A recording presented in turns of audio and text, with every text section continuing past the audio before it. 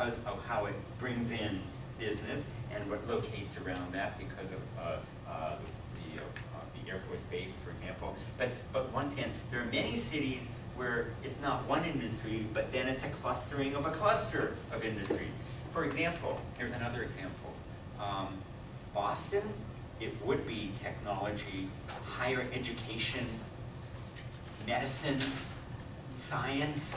Uh, think about all that traditionally as well. Uh, in New York, it's so many different businesses. It's just, it's, it's, it's everything. Of course, in Washington, D.C., it is government. Absolutely. No, and it generates, the multiplier there is phenomenal. What would you say it would be for Los Angeles? Movies, yeah. Movies, entertainment, that's right. It's worldwide what it does there. It's amazing, right? Uh, so, so you can see how that is. And so, and then you look in even smaller scale in your communities, what is it that gives you that particular advantage? So, I'm, I'm, you know, I'm going into all these other things. Look at your transportation infrastructure. And of course, so Noah was supposedly stuck on the highway this morning. No, Or- sunrise. No, all right, all right. So, but, but The highway moves fine. Yeah. Oh, really? Now. Sunrise is a disaster. Okay. But still, that's part of our transportation infrastructure. And I know we're all going to solve that with our automatic self-driving, uh, Uber-oriented vehicles, where we'll just have it called up on our apps. It'll pick us up. It'll get us where we need to be. And because it's self-driving, because it's all controlled by a master satellite in the sky, that way our capacity right now, we realize that, first of all, 90% of roadway capacity is unutilized. But when we have these automated vehicles, everything's going to be spaced together so neatly and tightly. We won't need to build extra roads. We won't have to build all that other stuff. And as soon as that first accident happens, and everything goes cram. Well, but it's still safer than letting humans do it, right? I don't know about that. I'm just being provocative. Uh, yes, question. The effect on the, we were talking about older people. um, Whoever they so- may be. Right, wherever they are. I don't know where they are. Okay. But I'm one of them. the, the ahead. fact that there's going to be automated cars, Mhm. do you think that that'll have a huge impact on the development of buildings for, or not assisted living, but for its own niche where they don't need to park because? I, I think there are, if and when we get that technology in place, and there are huge hurdles, there are substantial benefits both ways. Just think about this. There are people who say, oh my goodness, guess what? So older individuals who might be, uh, uh, Too old to don't have uh, mobility, now you'll have mobility, number one. And so, and if you have the ability and money to pay for it, number one. Uh, people who say, oh, guess what? You want walkable lifestyles? Guess what? If you have that nowadays, you might actually continue to see further exodus out. It may actually encourage greater sprawl because if you don't have to pay attention while you're driving, people already are not paying attention while they're driving, then you can work, do whatever it is while you are commuting. I mean, so there are all sorts of benefits and costs. I just think that um, it, it, they're just phenomenal changes. Just think, look at the huge parking garages that are being built. Yeah, all you have to do is look at the, uh, you know, 826 and 836 and look at all the garages and everything. Wait, do we need that infrastructure? And the garages and the highways and the lane miles that are being constructed? At some point in the future, maybe not. And what do you do with that infrastructure? Do we build it? Right now, we are compelled and forced by zoning to provide it. So what happens when we don't need it anymore? What happens when you have the ride share? When the vehicle that picks me up and figures out how to get into my gated community, I haven't figured out how they do that Well, yet. RFID. Yeah, well, that, that's right, they'll have to, well, but there'll have to be some, you know, they'll have to have that code, and we'll have to make sure the security's right and everything. But once they pick me up, take me to my work, and then it goes to the next place, wait a second. Uh, so then my garage now becomes a true Florida basement, right? You don't need the vehicle, and all of a sudden it changes the form of our communities. I mean, in the next fifty years, if we don't have legal zoning, NIMBYism, bananaism, and all those other, did anybody look up what banana stands for? You forgot about that, didn't you? No, I, I, I, so there could I be. did, but I forgot that. Not yet, okay, but if we don't have all those other impediments, structural and otherwise, we're gonna have a huge transformation, but it takes time to get there. I mean, look, I, I'm amazed every time I get on the Florida Turnpike or I ninety-five and saying, oh my goodness, I'm like everybody else stuck in this infrastructure. And you see the enormous opportunity for change, but I don't know when it's gonna happen.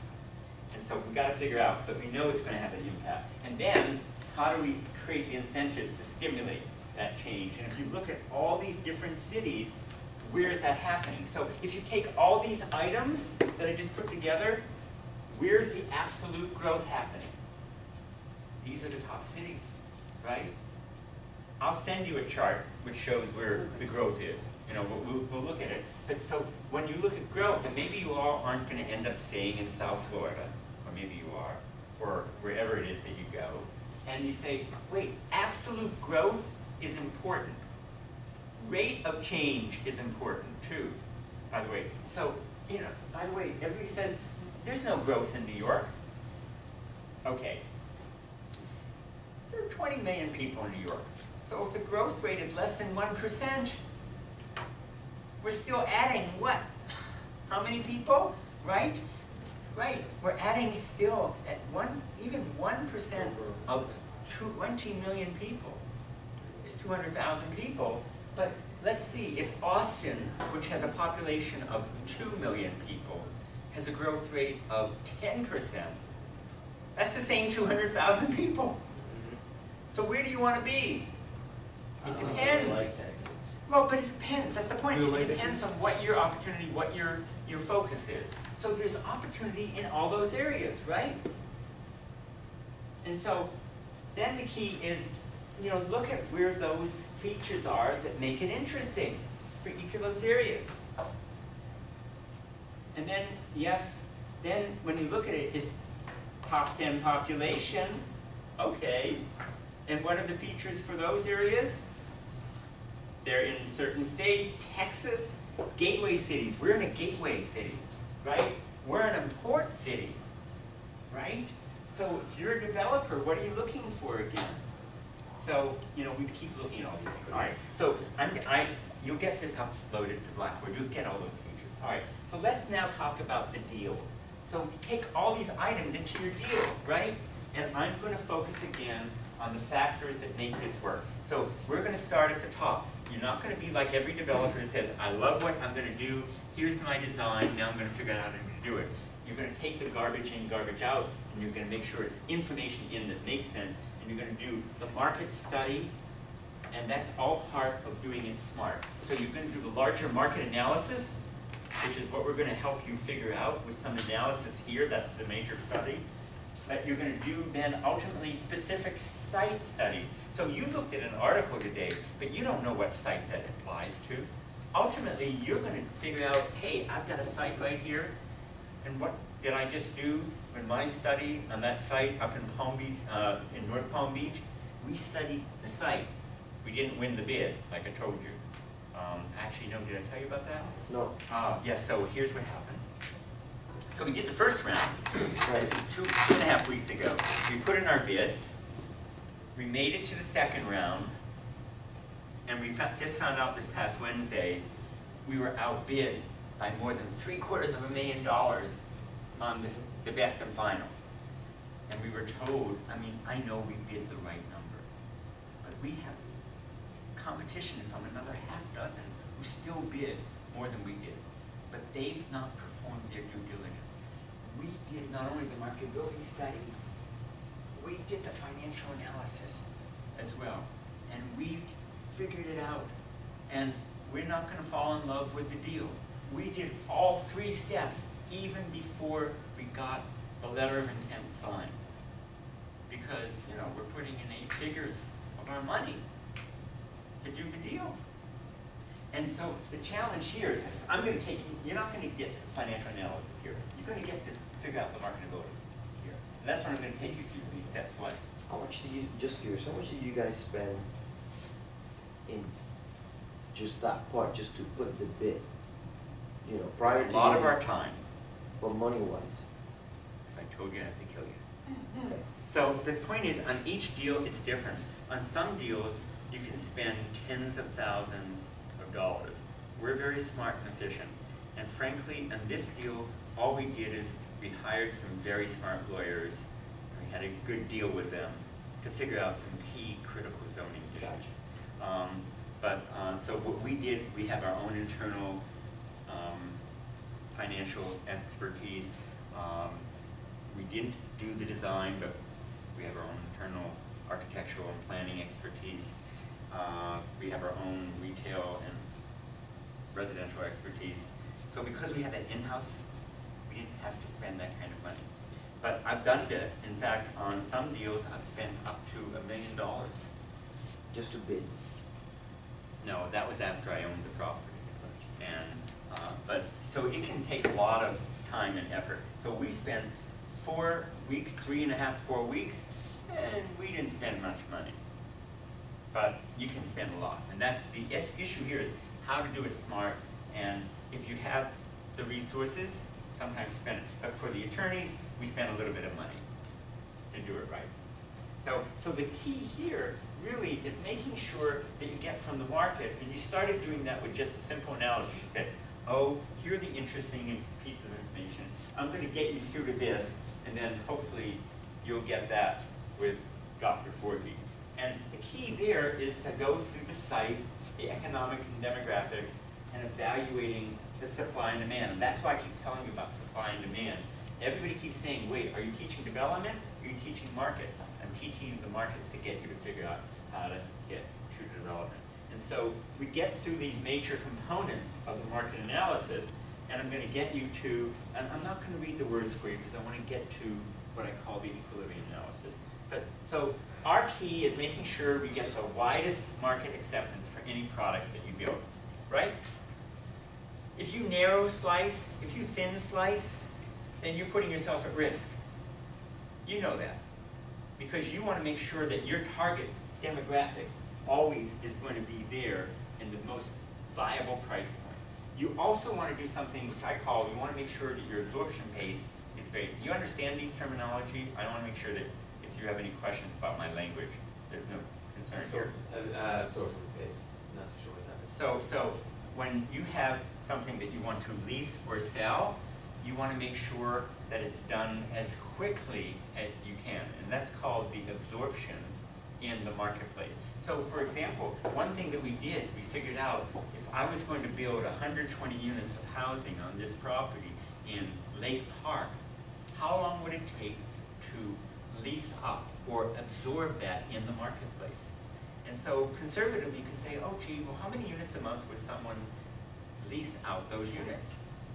On that marketplace, let's make this up, would it take ten units a month? That would mean, oh my goodness, a year, right?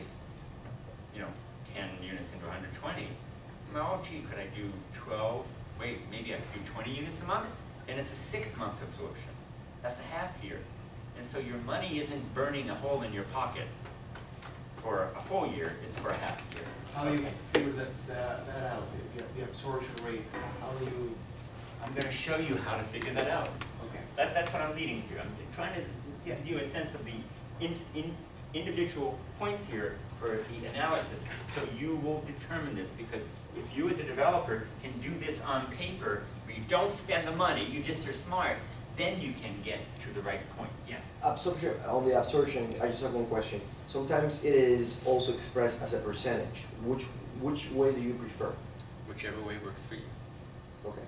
So, I mean, it- you're right, you can use it as a percentage of the marketplace, you can use it as a capture rate, you can use it as any number of ways, so we're gonna see how that works. So, you're gonna look at as a rate of change in, in rent or sale prices, you can look at how fast is the market changing. You look at it as analyzing how many units are out there in what I call a development pipeline in the marketplace. When we get to this tool, if I can just get that tool up for you, uh, we'll look at how much is out there. So how do I figure out my absorption in the marketplace? I look at how many units are in the marketplace that are competitive. I look at other factors that influence supply, such as, oh, by the way, is it comparable? Do I think that the unit next door looks like the unit that will be the one that I want to build? Am I in the path of growth or development? Do I have any major competition? Is anything else actually being built? that looks like our product, and I keep looking at more product issues. And all these items get me to this issue of equilibrium and market share and capture rate. And it gives me the point where I'm actually going to do what I call an equilibrium analysis. An equilibrium analysis relates demand and supply. If you can figure out who's demanding and who's supplying, you'll know where you are in that circle. You know whether you should build, develop, buy, or sell. And when does equilibrium occur? When the market's in balance. The markets are rarely in balance, okay? But you can figure out if it's in balance. And so we can establish that level or rate of when the market is in balance, and we'll know it when the market starts to see rents rising. So if rents are flat and stable, we're in equilibrium. It may not be what we like. So for example, in a city where the rents stay the same all the time, then the rents are effectively saying that we're in equilibrium. If rents are going down, we're not. If rents are going up, we're not. But if rents are going up, it's an opportunity, and usually new construction commences because a developer sees that there's an opportunity to build, right?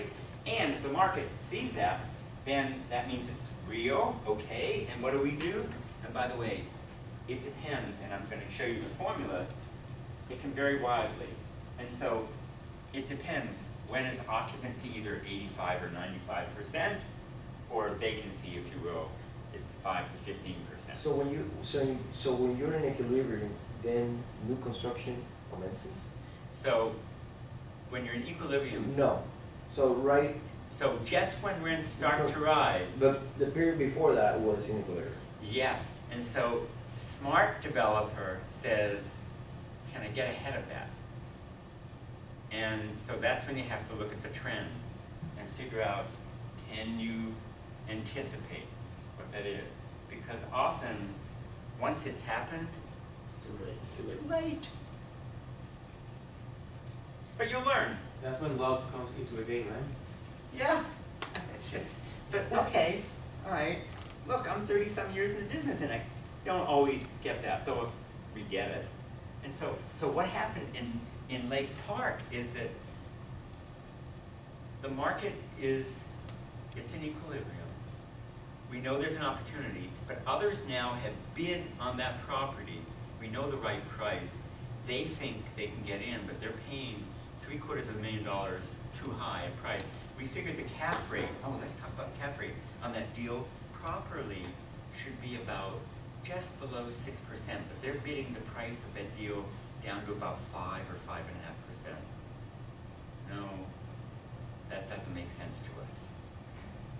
Maybe they'll make it work. I hope they do. But I'm guessing that what happens is whoever they get to sign the letter of intent is gonna come back and retrade the deal. Have you heard that term? You know what I mean by retrading? Renegotiate? Yeah. And they'll say, oh, I can't do this. In fact, we sent out our letter of intent and we actually said, you know what? We figured out it's gonna cost upwards of a million dollars to put a new traffic light at the intersection and do A, B, C, D, E. We're not gonna retrade you. We're gonna pay you the price that we know it's worth. And if you sign the deal with us, we'll do it right here. They said, thank you, you're probably right, but we're still gonna go with the higher price anyways. And the reason why is because some of the other offers actually said they would put a non-refundable deposit down too as well. God bless. I wouldn't do that. I'm not gonna risk my money on that. Not that big deal. Okay, so how do we figure this out? Here's our formula. And I'm gonna hand out a piece of paper. So how do you figure out, this is for office, I'm gonna give you for office and for residential space, all right? Our objective is to determine, you know, we wanna look at this equilibrium. You wanna see, well, how many years of supply are out there? And if there's no supply, you know, there's an opportunity to build, right? So you look at the vacant space in the existing buildings, you add it to the vacant space that's under construction, and you add that to the vacant space that's proposed. You look at the pipeline, right? And then you divide it by the total demand. So once again, supply divided by demand. The result is the length of time. So, simple formula. So, for example, if I had a hundred thousand square feet of space that was in my total vacant space, if you will, and if I had a hundred thousand square feet that was in demand, well, a hundred thousand divided by a hundred thousand is one, kind of like at equilibrium, kind of like I'm at one. But, so for example, if I had two hundred thousand square feet, and I'm gonna give you the numbers, in vacant space, and I had a demand for a hundred thousand, and my annual demand was a hundred thousand, then two hundred thousand divided by a hundred means that I have a two-year supply. So we can figure out how to use this, and there are lots of different resources that are out there to use it. So let me show you a simple formula, and I'll, and I'll hand you out this sheet too. So, and I'll, I'll send you the spreadsheet. So here, the numbers are real small on the page, but they're much bigger on the screen.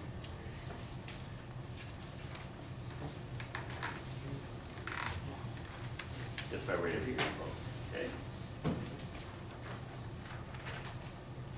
So, it's just a, it's a made-up example. So what you do is you just basically take the existing space and you say, oh, here's my total inventory. And I say, what's available? That's the here and now. What's under construction? What's planned? And I put that together. So this is the pipeline. That's the chart A. What's the difference between office inventory and available space? Oh, oh, so this is the total. So if I got fifty million square feet and then my vacancy is, this is what's vacant in the Ah. existing space. Thank Oh, you. got it, That got may it, get got it, clarified. got it.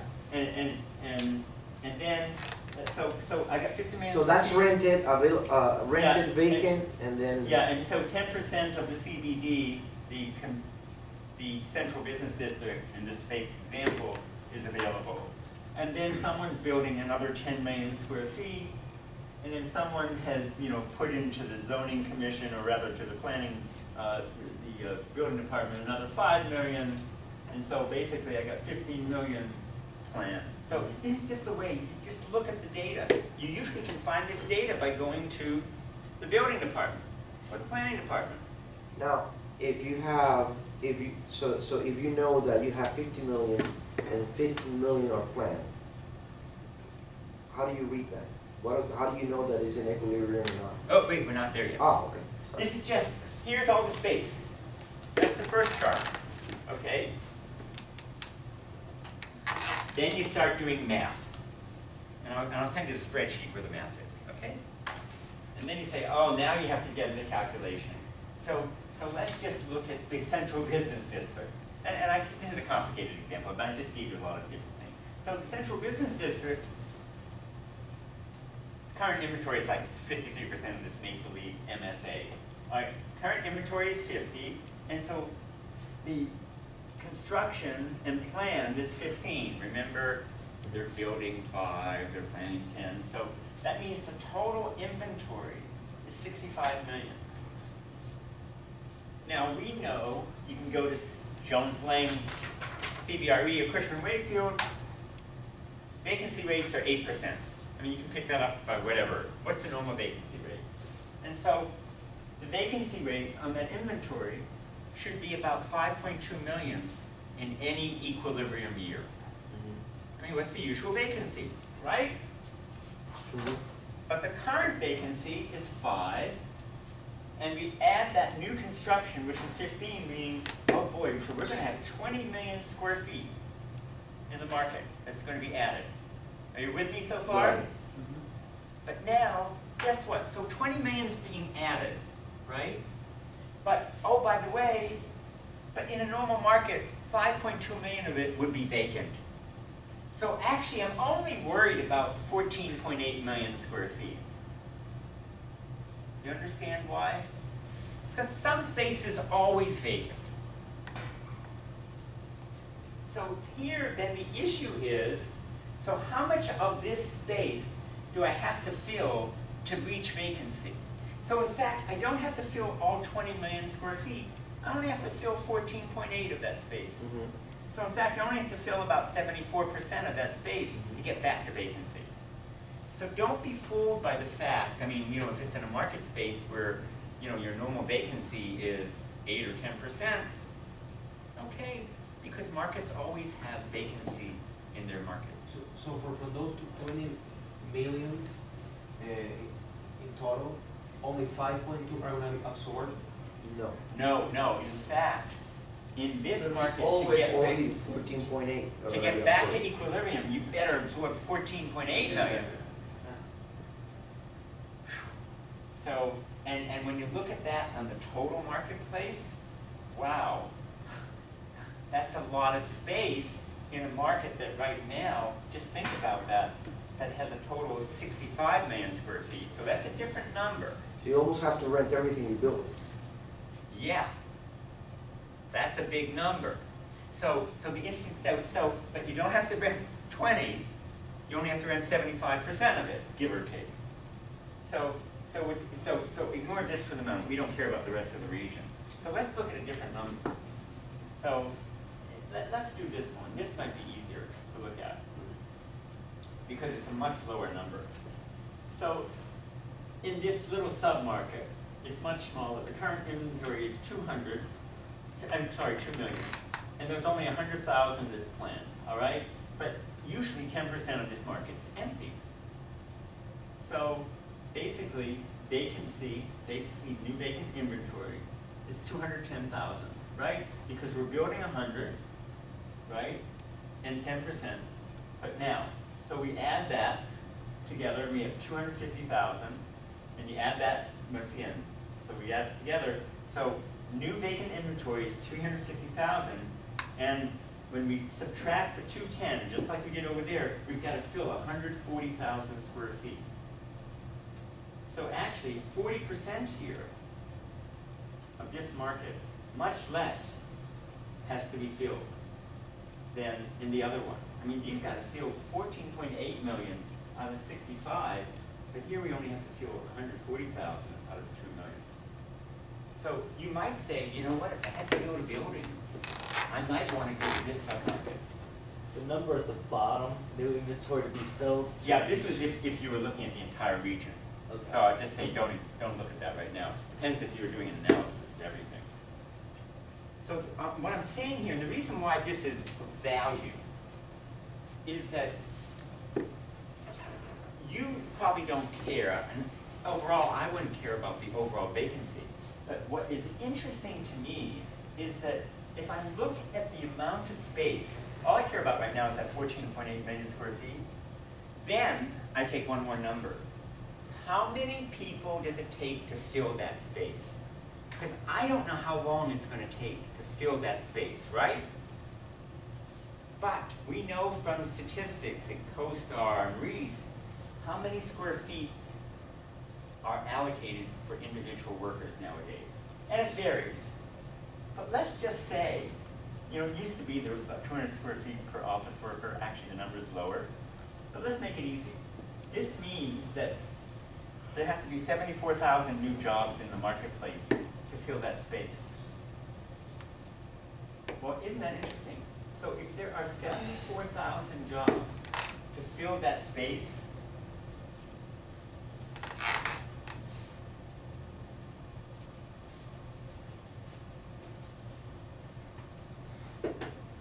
and this is the growth in the market, it's gonna take three and a half years to fill that space. Do I wanna wait three and a half years? Maybe not, that's right. Unless, and unless I know that I've got my permits in place and everything. So this is a formula that helps you determine. So by the way, in submarket E, or excuse me, submarket, whichever sub, I think we were looking at submarket E. Yeah, we were looking at submarket E. Gosh, less than half a year to fill that submarket. I might wanna build in that submarket. Take six months to get there. And maybe the competition isn't there. also maybe the demand isn't there too, but if I build a smaller building in that market, that's where I wanna go. So all of a sudden, you're a smart developer, and you're looking at opportunities, and you see a site, and you might say, I wanna be in a site in my submarket off of Sunrise, you know? Even though the traffic's lousy, that's where my demand's gonna be. And that's what makes this so interesting as a tool. I'm gonna go through one more example here. So basically, uh, the Yeah. time to, time for equilibrium there is the time that it will take to go to a normal vacancy. Yes, right. And so, so if there's another, if there's something unusual that's going on in the market, then we've got to adjust. And how do we do it? You look at the percentage vacancy in the market. And so you have to make sure, gee, am I guessing right on what the equilibrium rate of vacancy is for that submarket? But, but wouldn't, but wouldn't the, uh, the, the vacancy rate change over time? At, Yeah, at in the market, that it could be five percent now, next year maybe six percent? It, it might, yes, So are you you're right. comparing to a historical? Yeah, yeah, No. that's right. So, so you've got to look at historical numbers and you have to, you have to weigh the number and you do a couple of analyses. And if you're within a range, you're probably going to guess right. But now you've got a tool, at least you're not just flying blind. Right. Now you don't do it. And so let me skip over this next chart. So I can give you this example. And so I'm, I want to just go through it. So now you've got the ability to match the potential and you can evaluate and you have you can go to your client, you can go to your investors and say, I have a level of confidence whether or not I can build. And so this is what I did with our capital. By the way, I'm going to show you what I did on my apartments. And in fact, we just reviewed another site somewhere here. With, we had our, our, our capital conference call yesterday. Last an hour, we take them through our sites every week or every other week. And we go through the same analysis. Say, yep, this looks good. And you know, within a margin of error, and we figure out, yes, we can get to that point. And then we make a decision of whether we do go or no go.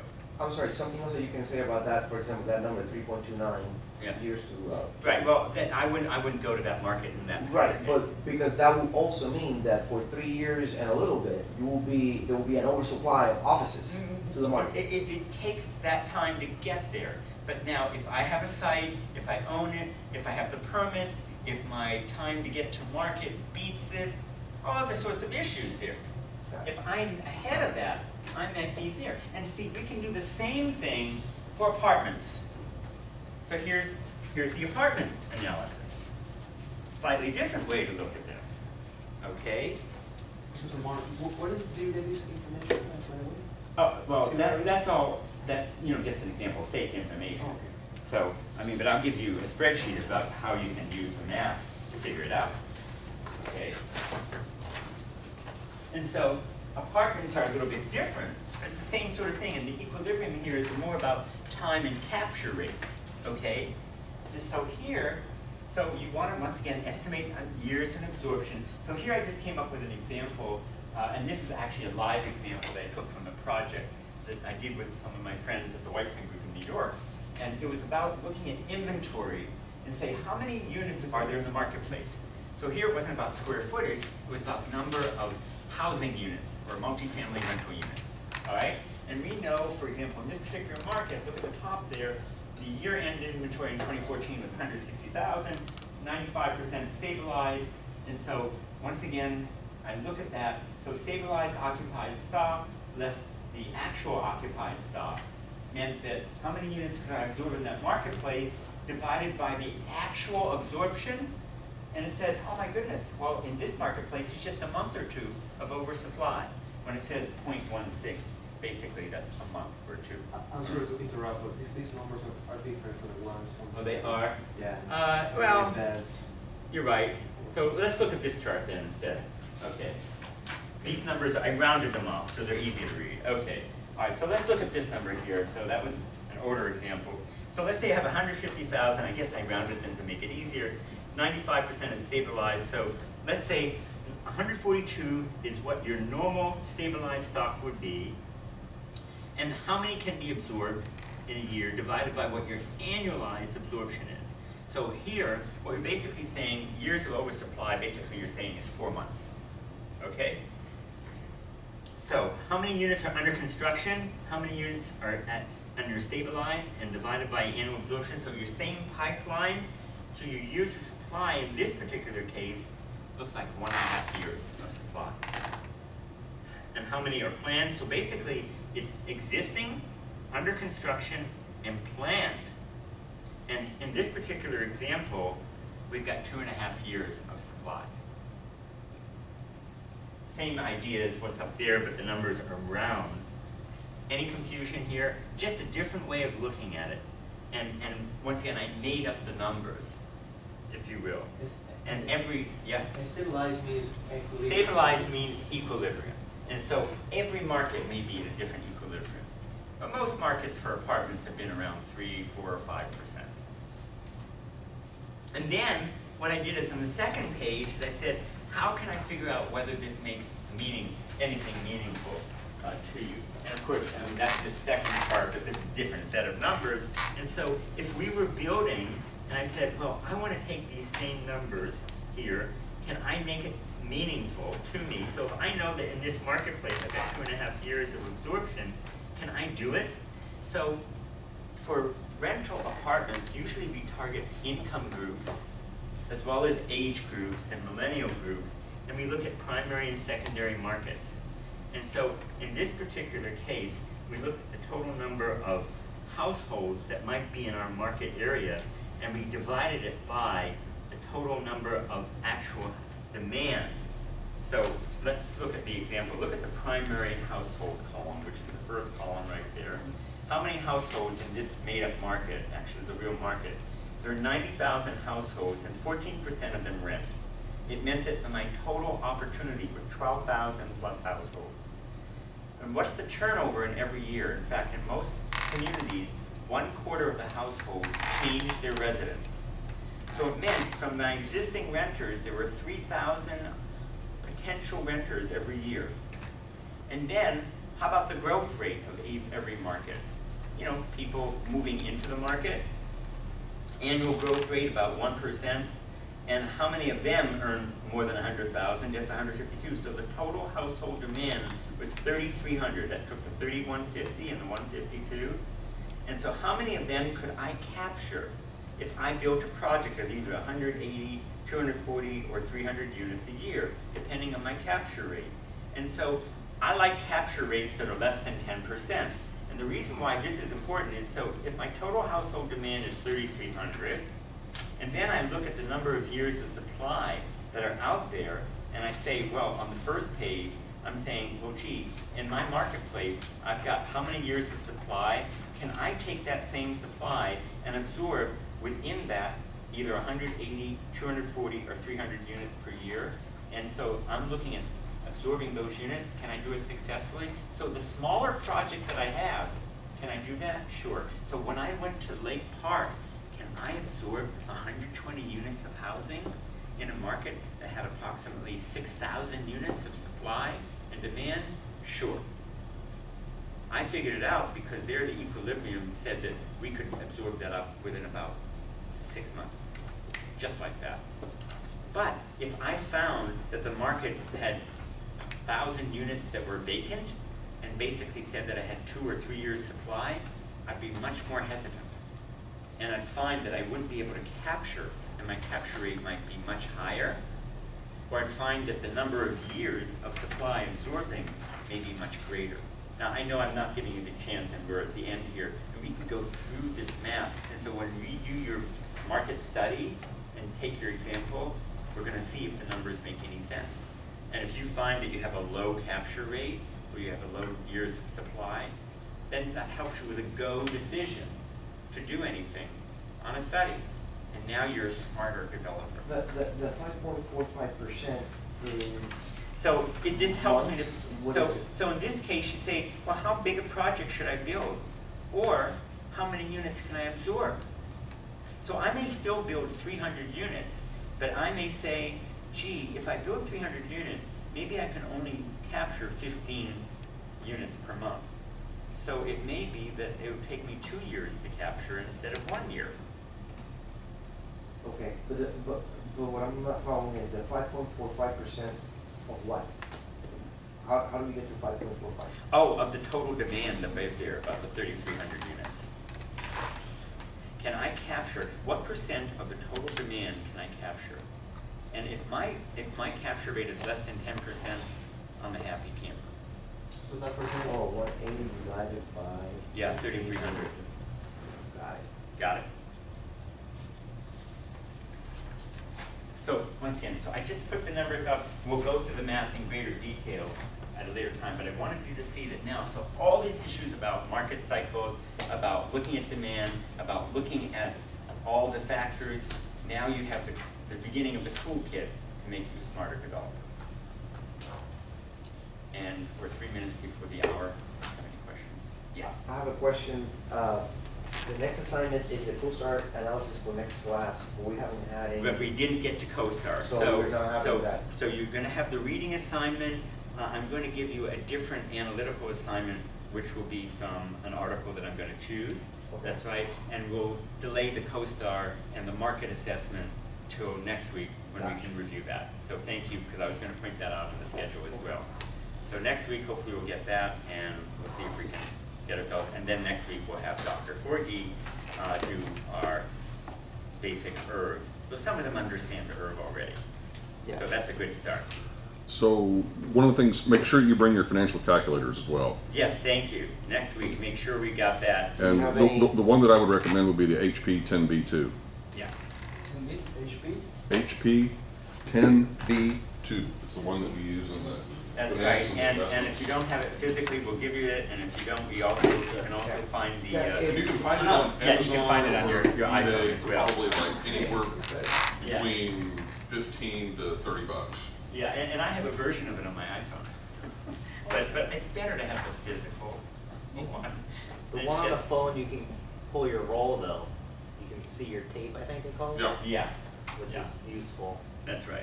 And, that, that way you know you're actually pushing the right buttons. Excuse me, Prof- Professor Mark. Can, can you explain one, one more time how Sure. you get the five point? Yeah, so, so here's the total demand, and then I took one hundred eighty into three point, three thousand. What's the reason why you prefer that one? It's the best one. Okay. Yeah, Really? Or Texas Instrument? I have And one financial. The, the idea is It- to, so what you wanna do is you don't Doesn't wanna do all of the same market can- functions. Can Okay. Absorb. A little bit different Right. in terms so of how it's structured. Unless you know it really, really, really well, Yeah, which I don't. then I would say stick with this. comfortable with trying to capture We use that TI ten percent, so. You can use whatever you want, but, but in terms of following me, you're probably gonna wanna use the ten B two. Has a demand. I mean, ask Noah. It goes fast. Maybe, that's why I like to see capture rates Those that are little less drawings than ten percent. If, if, Probably, like, for okay. example, I wanted at least six hundred units. And between the physical and the, 20%. um, iPhone version? mm, Well, you're gonna need No, the, the physical one for for, the- for the, for the test and for the class, but you can use the Then iPhone version good, if you want to while you're following along in class, but go. Gotcha. But that would have to be a very unique situation. and you always wanna, uh, And then I compare it against what the supply is yeah, in the marketplace. So I compare supply and demand. So, so, so the, the, the, the, idea is to have the units, uh, granted Well, you wanna compare, you wanna make